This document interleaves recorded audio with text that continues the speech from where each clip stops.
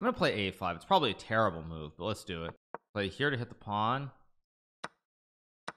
This is a very weird position. I don't know what the heck is going on. He's got bishop f4 or something too. But if I get rook d6 I don't know what the heck this is. I'm, I'm actually kind of confused. This is a very a very weird position. I think I go knight c6 and maybe 95 yeah this is really really weird. Very strange. Thank you so much to hockey lord for the 12 chess 9 96,000 yeah let's go 95 rook guards the knight. I mean I can even go rook d6 here to hit the queen. Like this is very very strange because now I have knight f3 he has to go queen e2 and then I can kill him with knight d3 I can even go b5 maybe see what happens Knight d3 is good, but is it best is the question. Now I think b5 is actually better here. I just want to go bishop b7 and, and fianchetto. I still have knight d3 as well. So I mean, this looks insane to me. I mean, I also have knight f3. I've got knight d3. I've got bishop b7. My active rook, by the way, a5. Brilliant move that I played. a5 with rook a6, rook d6. And now I think this is checkmate.